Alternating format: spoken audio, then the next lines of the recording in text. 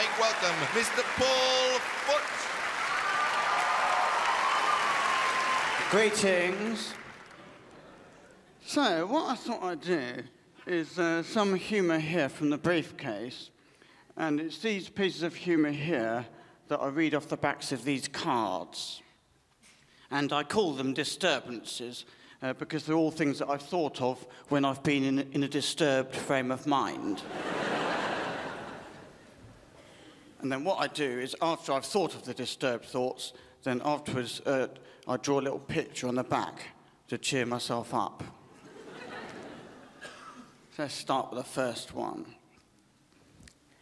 There are various levels of homophobia.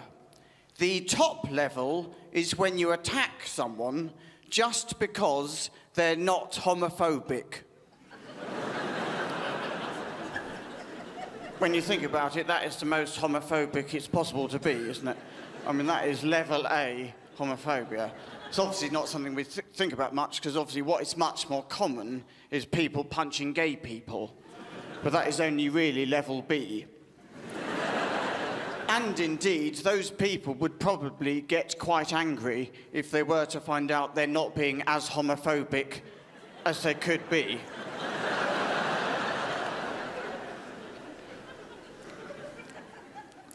Fact the deepest parts of the oceans are deeper than the tallest mountains are tall. To put it another way, if you took the Himalayan mountain range and turned it upside down into the sea, loads of sanctimonious charity climbers,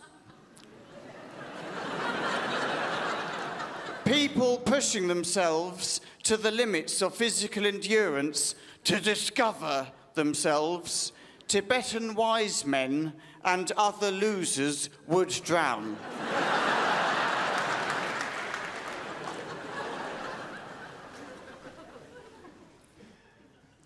As Lucille launched into her seventh anecdote of the evening about flower arranging, many of the dinner party guests' hearts sank.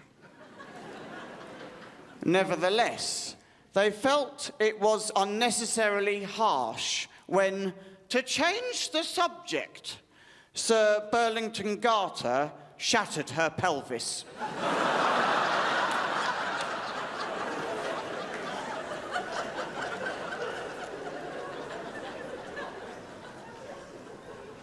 I think I'll go now because that's the end. Thank you very much.